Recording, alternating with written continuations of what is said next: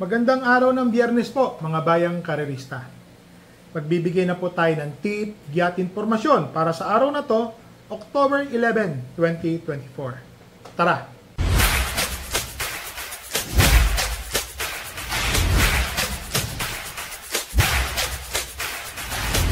So, mga bayang karerista, meron pong hinandang pitong karera para sa araw ng biyernes. Pakita ko lang po yung hawak ko, sana. Kaya lang, hindi po kasi kopya. So, sarili po natin itong dividendaso. Ito po ang kopya. Yan po muna. Medyo pinag-aralan po natin, maigi, at hindi po tayo nakapagbigay ng tip ng dalawang araw. Naging busy po tayo sa mga inaayos po. First time. First time pong magpapakasal ng aking anak.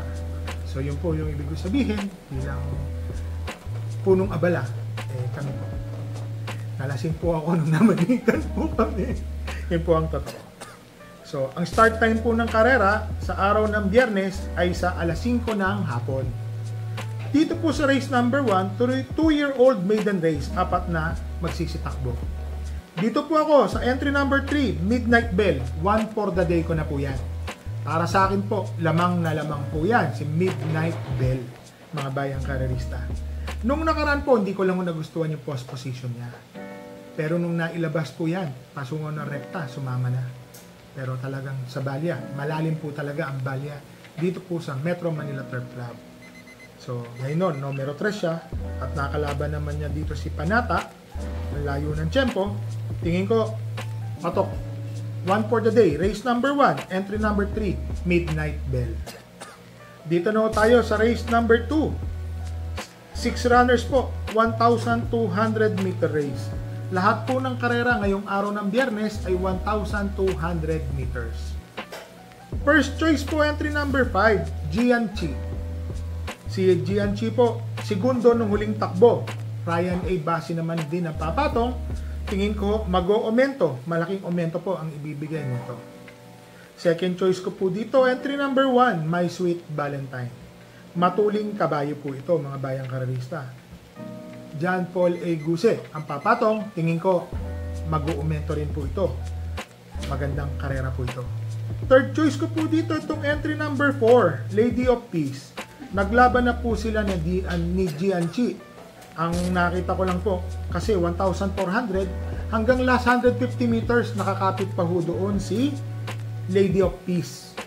So siya po yung kumuha ng bandera. Mukhang naturuan po itong tumutok lang sabay tsak tuloy-tuloy.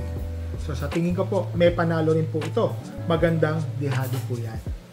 So dito po sa race number 2, first choice po entry number 5, Gianchi. Second choice entry number 1, My Sweet Valentine. Third choice, entry number 4, Lady of Peace. Dito na ho tayo sa race number 3, 6 runners. Rating 6 to 10, may kabayo po tayo dito, Bonnie Avenue. Nilagay ko po siyang panigundo. Kasi ang kalaban po niya, si Margot. So, nilagay ko pong panigundo si Bonnie Avenue, tingin ko naman may panalo po yan. Huwag lang po magloloko sa starting gate, mapapalaban po sila dyan.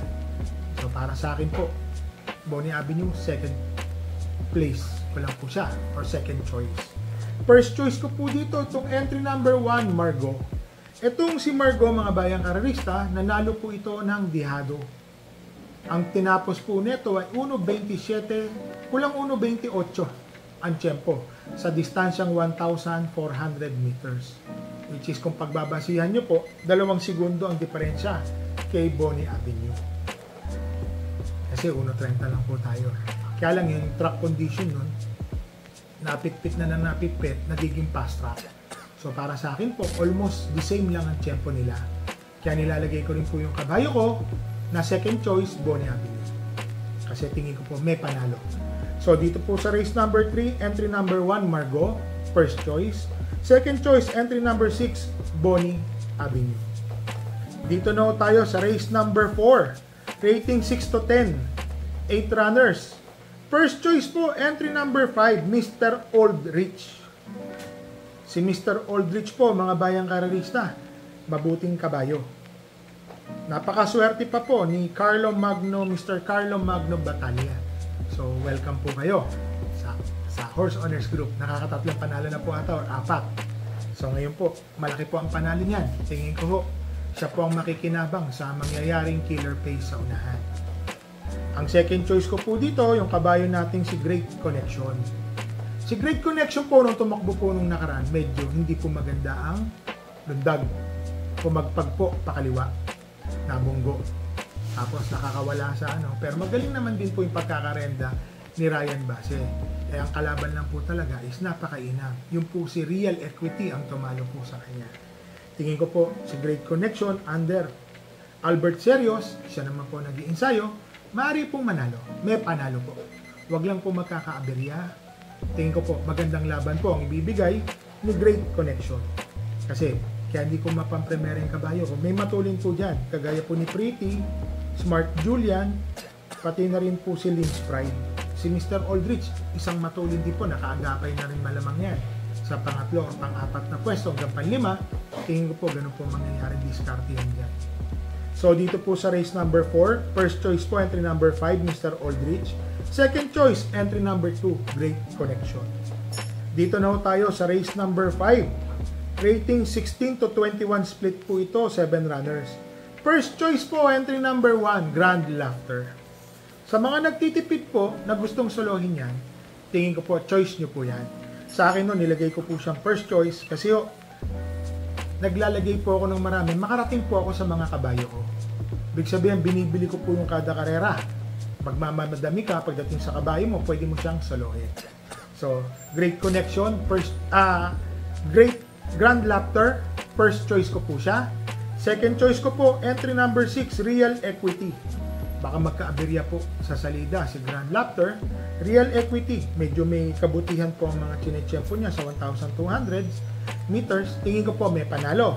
At nilagay ko pong third choice, yung entry number 5, Heavyweight. Alam niyo naman o, kailangan ho natin talagang magdagdag.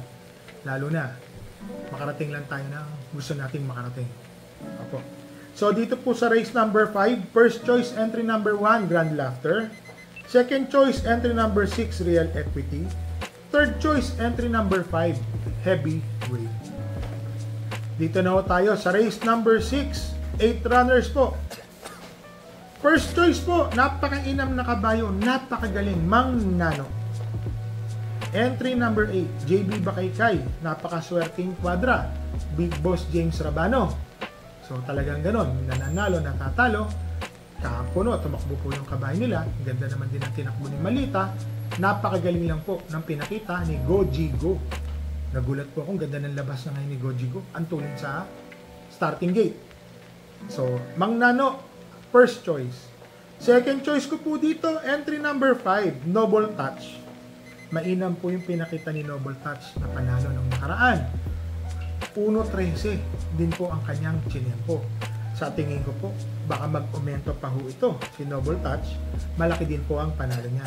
Naglagay po ako ng third choice. Entry number 2, War Chip. Ito pong si War Chip, mga bayang karerista, nung nakarano, hindi ko lang ho nagustuhan yung lundag. Tingin ko ho, doon ho napahirapan sa lundag, tapos nagmamadali. So, tingin ko ngayon, baka ma-relax na po yung kabayo, tingin ko po, malaki po ang panalo. Naglagay po ako ng fourth choice, See You Tomorrow. Si See You Tomorrow po, Albert Serios ang papato. Tingin ko po, mapapakilos niya yan na maganda. So, dito po sa race number 6, first choice, entry number 8, Mang Nano. Second choice, entry number 5, Noble Touch. Third choice, entry number 2, War Chip. Fourth choice, entry number 1, See You Tomorrow. Ito na po. Race number 7, 8 runners po. Rating 11 to 15 split. May kabayo po tayo dito, Donya Chichay. Nilagay ko lang po siya na second choice. Medyo, alam niya na, parang yung kondisyon ng kabayo ko, medyo nagloloko-loko. Sabihin, wala siya sa peak ngayon. Pababa. So, kaya ko po siya tinakbo. So, ginawa namin yung dapat gawin mula sa dextrose, yung mga nilalagay, multivitamins, B12, kompleto yan ngayon, magaganda naman yung ensayo. Malakas din naman na kumain. Yun lang po, talagang talo is talo. Nilagay ko po siyang second choice. Bakit to? Yun nung kasi yung nakaraan, talagang bugbugan sa unahan yung dalawa. Si Biglang Buhos at saka may isa pa rin yung matuli. eh si Doña Chichay, alam kong iipitin, maiipit, buti na lang ho, magaling po dumiskarte si Ryan Bassett, pinilit po niya ang Romemate. Pero hindi po ganun talaga kabuti ngayon si Doña Chichay. Kaya second choice ko lang po siya. Ang first choice ko po dito, entry number 5, Don Lucas. Boji Henson. Magaling na kabayo po ito para sa akin si Don Lucas. Tingin ko po, malaki po ang panalo niyan. Alam niyo na, dahil yung kabayo ko medyo hindi pa ganun kaganda ang kanyang tinatakbo. Pero, labas po yan. Second choice ko po ulit, Don, Donya Chichay. Tingin ko po, may panalo naman yan. Third choice ko po dito, entry number 8, Biglang Buhos. Itong si Biglang Buhos, pagka nakakalimutan natin, biglang bumubulaga po ito eh. May 1.14 din po ito na tinatakbo. Baka makakinabang po siya sa mga naghahabol sa unahan. Kagaya po ni Honors, Sun Moon Lake, Doña Chichay, Glenda's Magic, pati si Happy Julian, malamang nandun din. Baka makinabang po yung mga Jeremate. So may instruction na po tayo dyan sa mga kabayo po natin. So mga bayang karerista, i-recap ko lang po. Tatlo po ang tatakbo nating kabayo. Bonnie Avenue, tingin ko po, may panalo. Great Connection, tingin ko po, may panalo. At Doña Chichay, tingin ko po, may panalo. Meron na po akong ginawang listahan. Itong listahan na to, kung makikita niyo po, ito po yan. Yan na rin po ang itataya ko. Ang aga pa, no? Kasi oh, ang kailangan po natin, makarating tayo sa mga races ng kabayo natin. So ito po, mag-shoutout lang po tayo mga bayang karerista ha. Pasensya no, may karamihan po ito. 2 days po tayong hindi nakapagbigay ng tip. Shoutout po natin si Alan Flores, Bogart Vlogs, Arvin Nepales, Jang, Joint Flores, Victor Medina, Fernan Miares, Prince Mar, Francis Tonido, Manuel Tandes, Julito Ereneo, Edwin Alberto, Tonyo Baisa, Pradiccio Olefernes, Consi Darwin Awi Sia at Consi Ninong Rod Laksamana. Pagbati po mula kay Mr. JR Kabansag. So shoutout din po Mr. JR Kabansag. Oliver Rivera, shoutout po. Mame, Mamerto Rodriguez, Manny Quijano at Paring Puti. Shoutout po sa inyo. Ronald Alan Lazaro, Crispin Tanson. Happy birthday kay Ronald Joyosa. Pagbati po mula sa inyong bayaw yan ha. Galing po sa bayaw nyo. At shoutout po sa inyo ha. Kay Elmer De Lima, shoutout po. Primo Brothers, Melvin, Eli, Villalon at Mr. Albert Villalon. Nanonood pa. Galing from UAE ha, Dubai UAE. At sa Stanley OTV, ito, batiin ko po. Special mention po yan, Stanley OTV. Pati po yung nasa tabi niya. Yung, yung paresan, yung dyan po ako kumakain, kung po. Madami. At binibigyan pa kami ng extra nung ano, nung sarsa ng pares, naharo ko po yan eh. So, yun po, lalo na po sa kabikay natin, at tiga sandok po ng pagkain dyan ha. Shoutout sa iyo, huwag ka magsawa ha. Kakain at kakain ako dyan. at saka sa mga batang at tsensa po, shoutout po sa mga kabikay natin sa OTB ng URCI Las Piñas from Boyant Domingo. At shoutout din po kay Mr. Dondon Estacio. So mga bayang karerista, oh, meron po tayong tatlong magsisitakbong karera. May mga magandang karera pa rin. Hindi porket sinabi ko na itong mga kabayo natin is labas, mananalo, mananalo at mananalo. Ang karera po, pare-parehas pong apat po ang panyan. Tatandaan niyo po yan. So sa karera, may swerte, na hindi pinapalat. Pero ako po, gagaratihan ko po kayo. Pagdating po ng tayaan, ang kabayo ko po, sosolohin ko po yan. So mga bayang karerista, re-remind ko lang po ulit kayo ha. Bet small, win big, bet big, lose big. Dala po tayo ng tubig na maiinom at dala po tayo ng payong. Nag-uulan din po sa bandang hapon. So mga bayang karerista, happy racing po and stay safe po sa inyo.